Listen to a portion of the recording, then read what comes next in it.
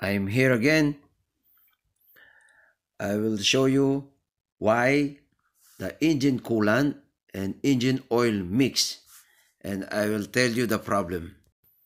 Nowadays, mostly engine have an engine oil cooler. This is a European car, a Range Rover, and always have a problem on engine oil cooler. You will see the color of the engine coolant and the engine oil. It was milky. Some are lighter in color and some are dark in color. That is normal. This one is slightly mixed.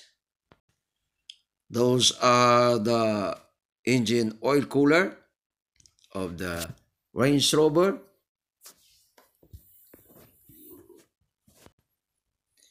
The engine oil cooler, it doesn't last because uh, maybe it's from the casting.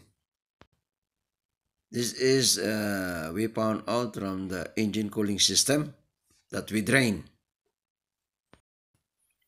Now, I will show you how to test the engine oil cooler with a normal compressed air.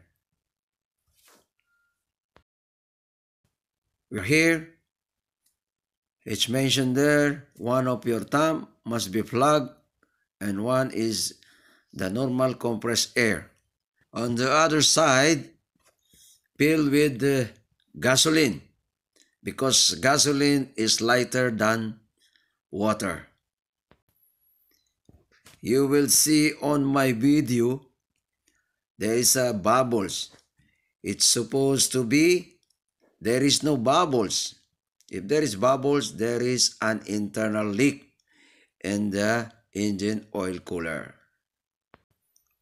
That is a very big leak of the engine oil cooler.